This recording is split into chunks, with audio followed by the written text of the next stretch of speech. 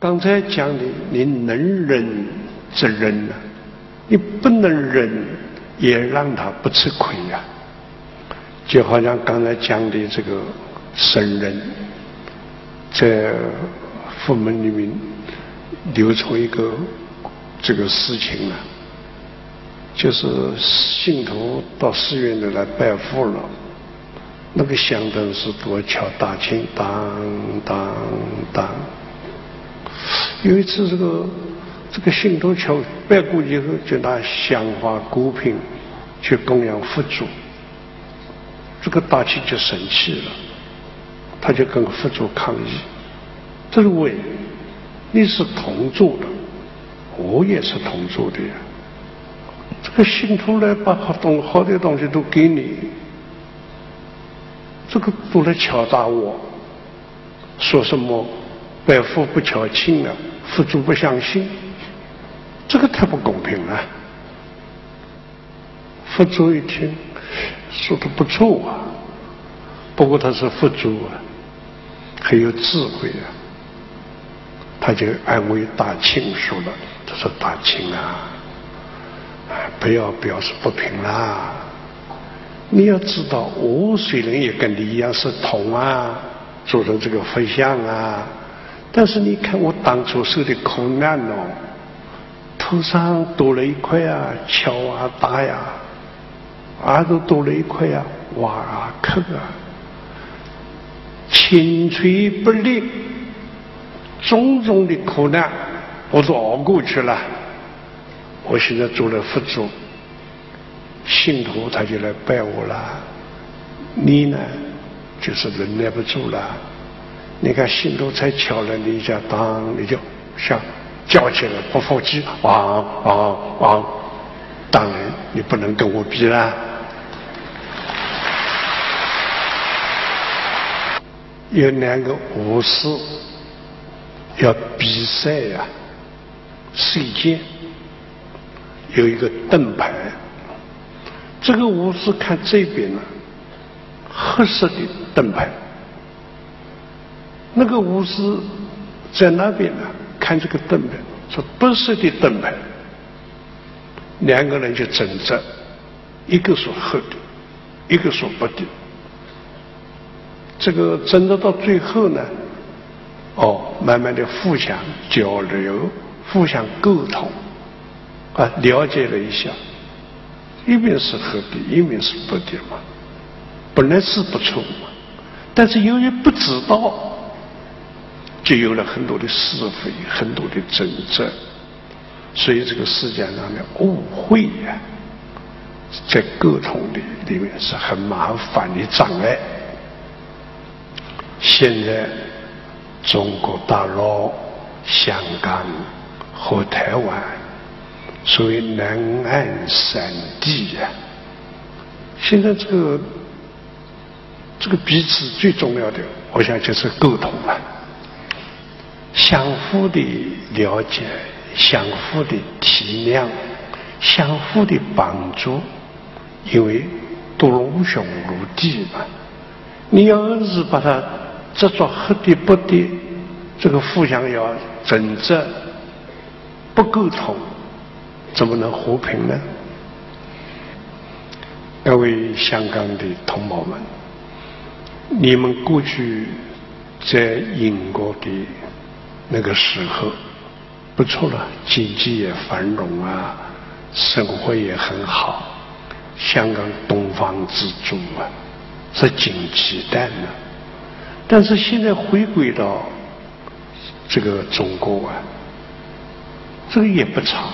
就例如我这一次到香港来，听到这个叫做什么旅行自由行呢？假如以后大陆开放自由行，哦，多少人从中国大陆带财富到香港来？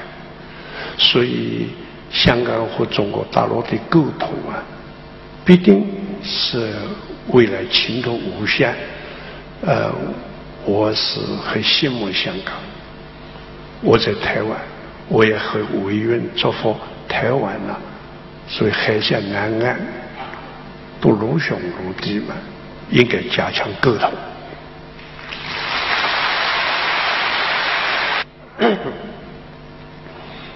我讲到第五点我们学习什么？学习方向人生呢像什么？就像一个皮箱有用的时候你要把它提起。不用的时候你要把它放下。那应该提起的时候不提起，不积极不勇敢，没有生命力；应该放下的时候，你不放下，拖着那么一个重的行李皮箱在手上，会很自在吗？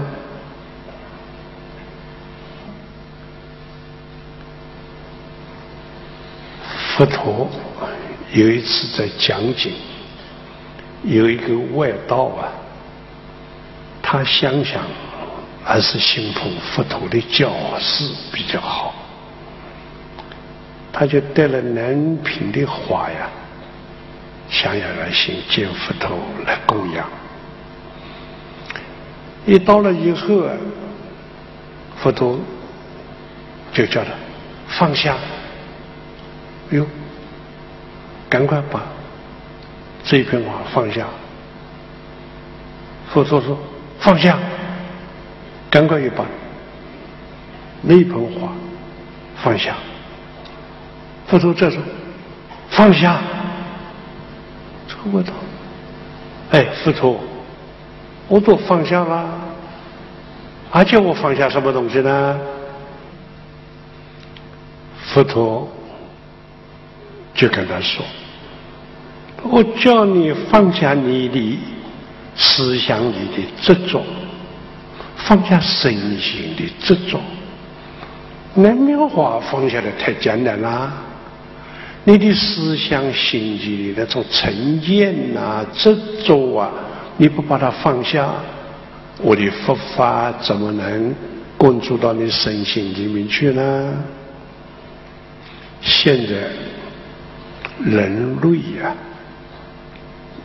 一般我看最愚痴的，就是树立。他对自己的道理啊，哦，一点都不肯放下。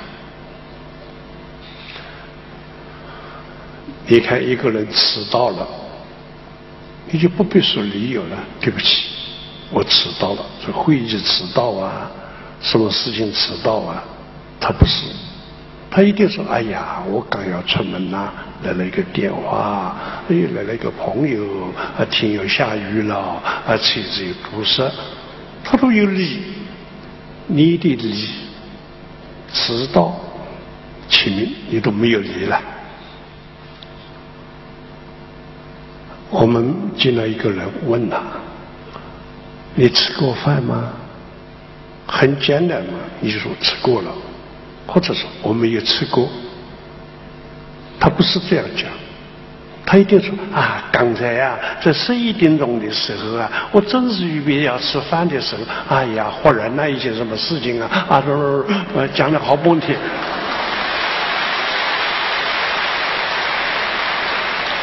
到最后问了，究竟吃饭没有啊？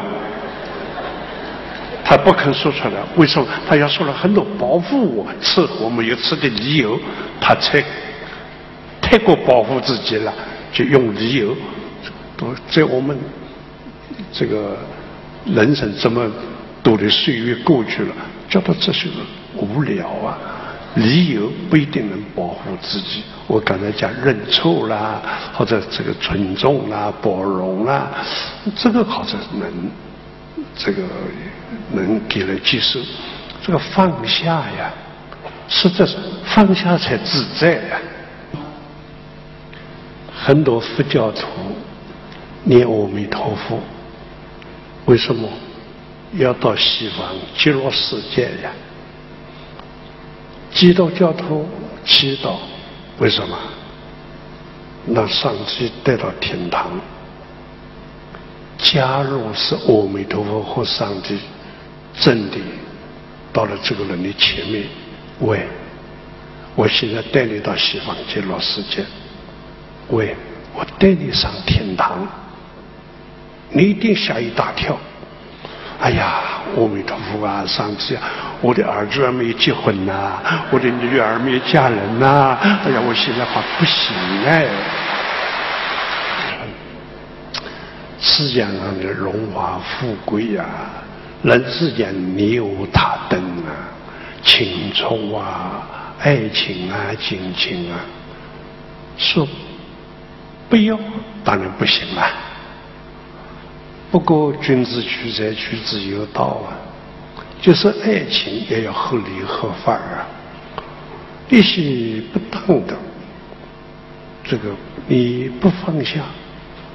为了一句话，哎呦，去了不吃饭；为了人家一个零食，哎呀，这就把门关起来不出来，这个何苦呢？这么一点点的这个都放不下。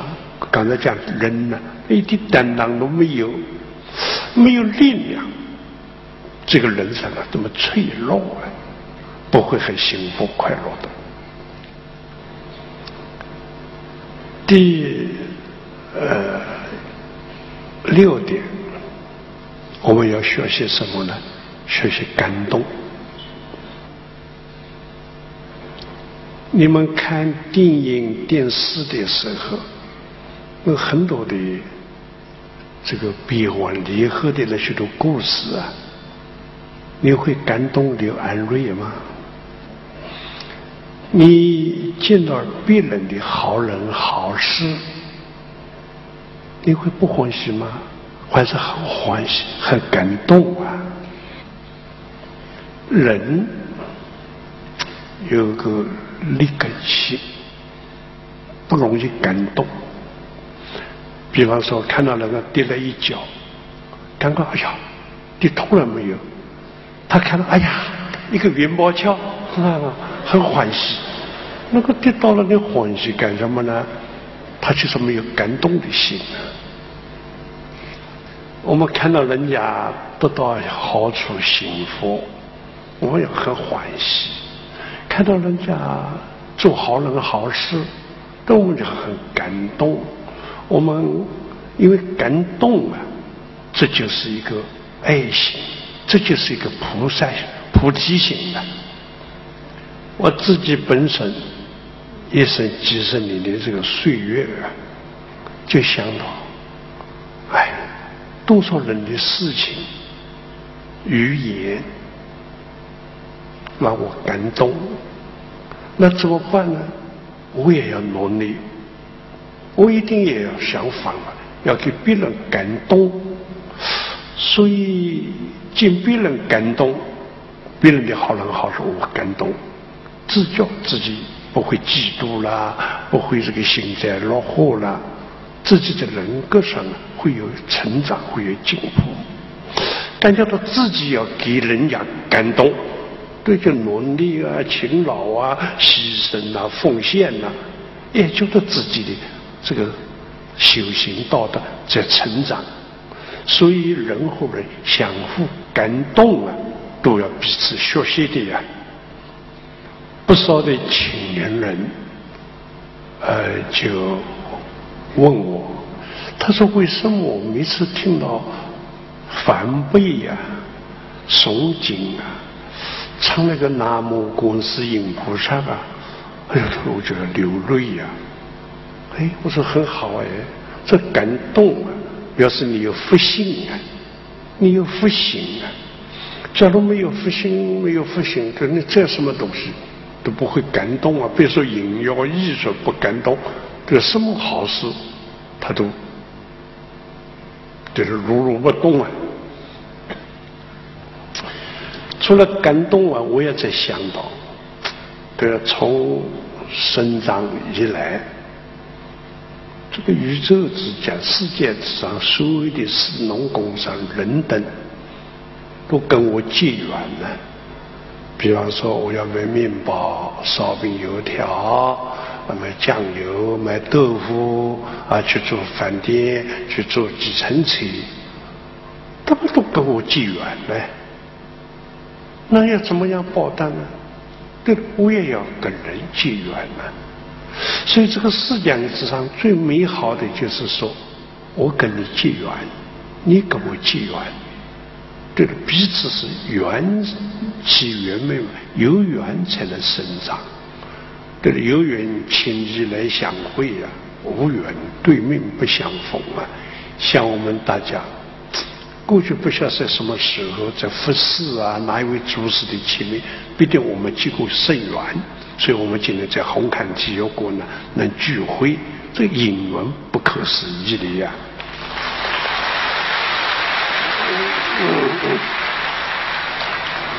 什么姻缘啊，我都感动，什么样的感动都可以结缘，所以因此。学习感动啊，这也是提升我们人生的升华进步了。我第七点呢，要跟各位讲的是学习生存。我们在生活啊，在学习生活，生活里面最重要的是什么？就是怎么样生存下去嘛。那么为了这个要生存，对了。要维护自己的身体的健康，不但对自己有利。假如自己身体不健康，让家人、朋友都不放心，那何苦呢？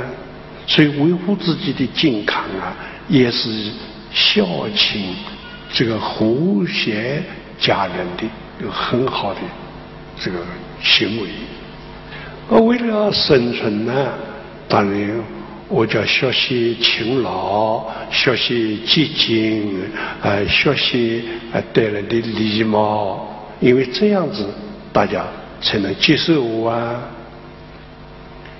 前不久我到欧洲去，后来台湾呢大大雨啊，哦，水灾泛滥，就打电话到那个受灾的地方。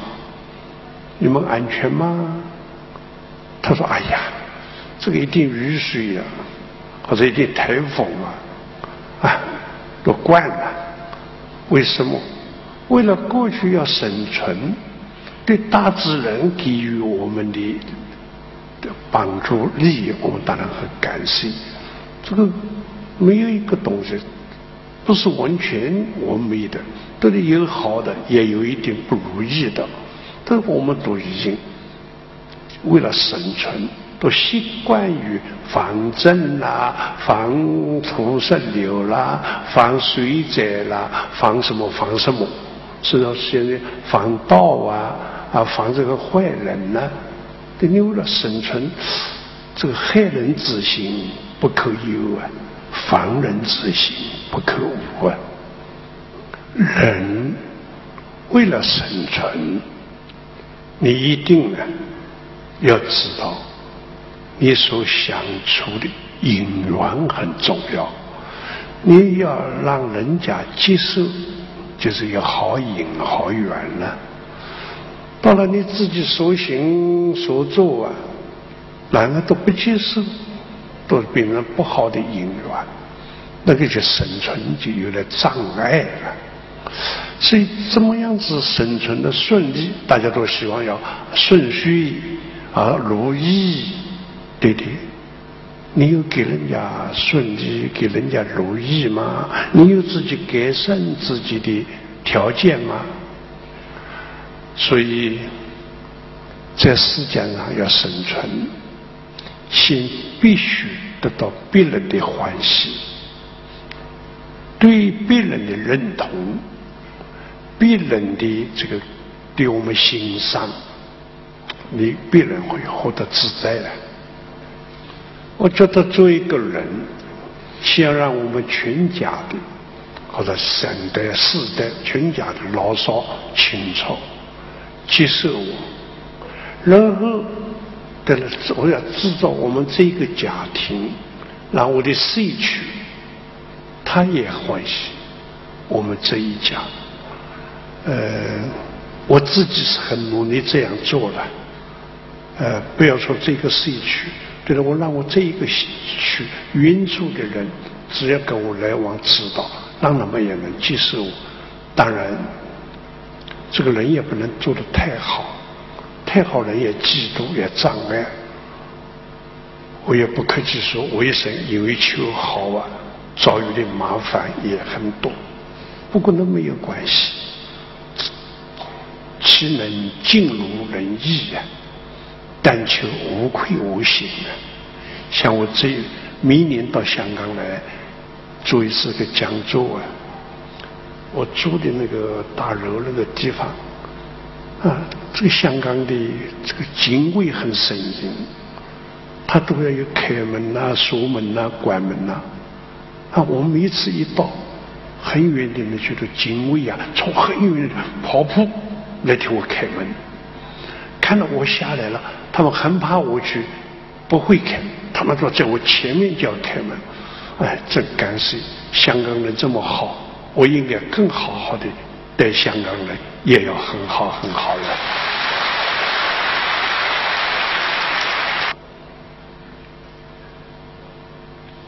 怎么样子在生活里学习？第八点呢，学习灵巧。这个灵巧啊，呃，也不完全和聪明智慧。这个灵巧就是随机应变呢，呃，能可以一种环境的啊。能制造大家的和谐，大家的欢喜，能可以把困难的事情呢，能可能会化解，不要靠灵巧啊。现在的这个社会，知识是爆爆炸的时代呀，五光十色太多了，让人这个堵的感到不快乐。我记得多年前到香港来，香港的时候只有南三四家电视台。哦，现在的香港的电视台很多了。但是过去这十几年前来呀，偶尔还说哎，开个电视看一看吧。现在不会，为什么？太多了，好麻烦哦，不晓得看哪一家才好，干脆不看了。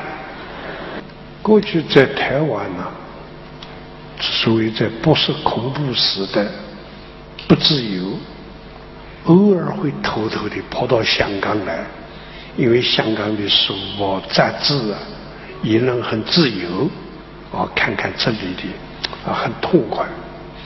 哎呀，现在香港的报章杂志那么多，不晓得看哪一本才好，也有一个感觉，哎，干脆不看算了。年轻的时候看呐、听呐，觉得好幸福哎。到了像我们这种老年的时候，哎，不看不听也很幸福哎。那个人在现在这个社会里呀，案例，呃，这个很多的干扰。忙碌确实增加心烦意乱了，尤其弥勒的生活啊，在那个警长当中，哎，有时警长忙乱呐，哪里有什么灵巧呢？有一个笑话说，一个军队营房里面，一个小兵啊。从外面呢买了男子鸭子鸡啊，那个男男子鸡好了，回回来了。这个给团长看到了，这个军队很严格的，不能随便拿东西来，手上一定要很威武啊，整齐啊。这个团长看到小兵拿了两只鸭子。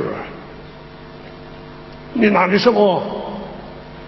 这个小兵很紧张，对他平常那个训练案例也很重。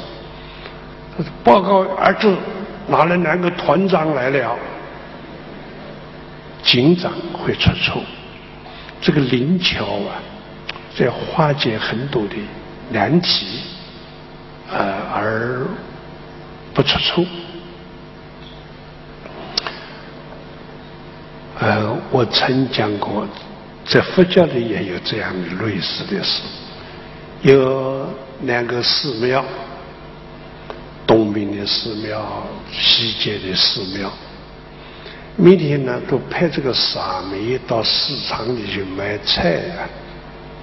这个两个沙弥常常在市场的门口遇到嘛。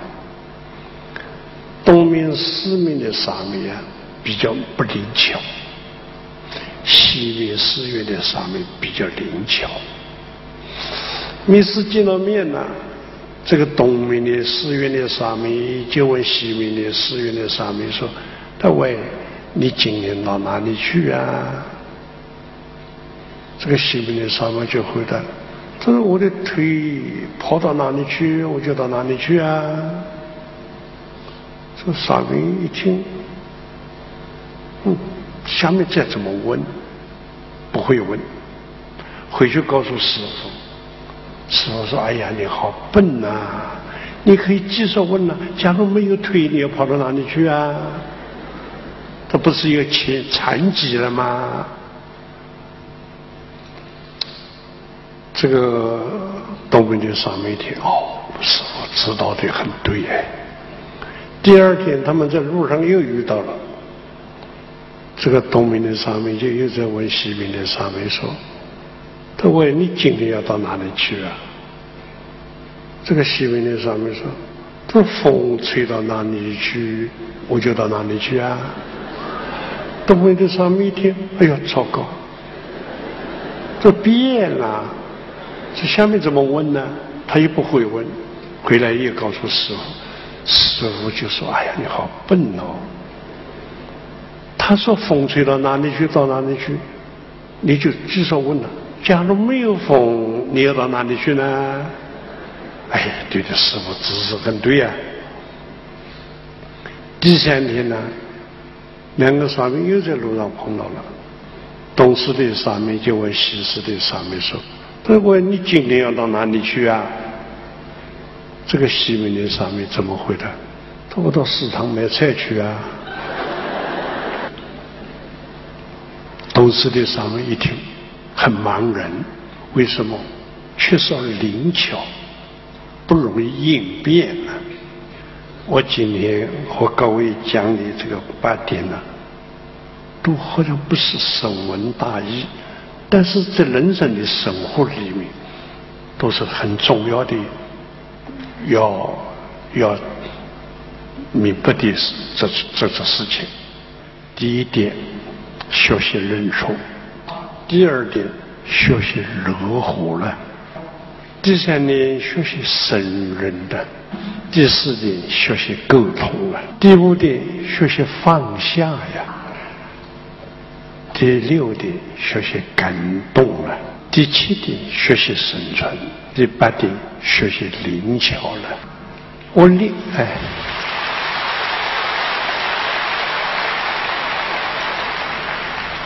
我另外呀还有半点的意思，只是因为我没有时间了，我就把它简单的说明给大家了解好了。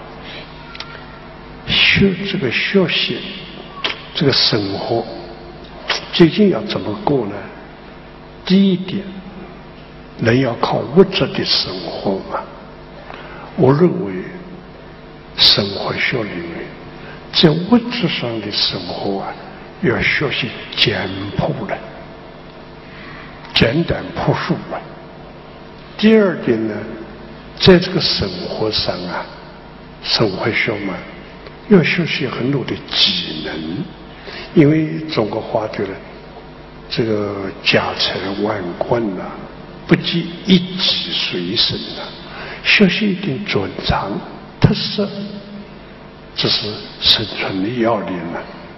第三点，在这个语言上，都不是学习广东话了，学习英文、英文了，学习法文了，主要的在语言上呢，要学习一些幽默感、幽默，因为幽默啊。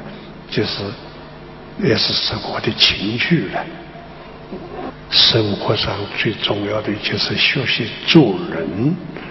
我觉得第四点呢，在做人上啊，要学习这个艺术，有艺术的人生，艺术的做人。人的生活当然要工作，在工作上啊，我们要学习勤劳，学习这个诚实。这个中国有一句话呀，叫做“从人呢，从小啊，一看就到老就差不多是这样啊。”所以最要紧就立志啊，佛教讲发愿呐，有志没志就开始烧火烧地了。所以应该在这个工作上啊，这个勤劳工作，呃，是非常重要的。人要有志趣，就是要有志愿呢。这个志愿呢。我不知道大家每一个人的都都有些想法啊，但不是凭空妄想的。这个志趣是要能实践的，是这个要能实。重要的呀，就是这个继续，就是学习奋起呀，学习好像飞翔啊，啊，学习扩大呀，学习发展呐。我觉得这个人生才有生命力。最后一点呢。就是我们现假如在学佛的上面，要学习发心。你吃饭，哎，发心吃饭啊，一定饭吃得饱啊。你要睡觉，哎呀，好啦，你今天发心去睡觉啊，觉也一定睡得很甜蜜了。你要做事啊，哎呀，你要发心做事啊，发心写文章啊。事业做得好，文章也写得好啊！这个“发心”两个字啊，微妙。心，在我们的这是里面，心，心是地一样，心地呀，心好像田一样。你要开发这个土地呀，开发这个田呐。对了，地上就能起高楼啦，就能是长五谷了。海浦新生地呀，山坡地呀，不是都要开发出来吗？我们心里的宝藏，菩萨佛祖七宝，都是靠我们发心啊，才能采取我们自己用不完的内心的保障啊。这个三天以来，不禁的感谢各位大家。我讲这个生命学、生死学、生活学，我希望明年呢更有很好的佛法来供养大家。这个你说生命也好，生死也好，生活也好，我们现在香港人。最关心的还是发财了。我今天为各位啊，就向佛诸佛菩萨来祈愿呢，让我们香港这个净土大家发财，要为大家念这个消灾延寿要施福，消灾延寿啊，这也是我们所祈愿的，因为能消灾能延寿，当然就会发财。谢谢。啊。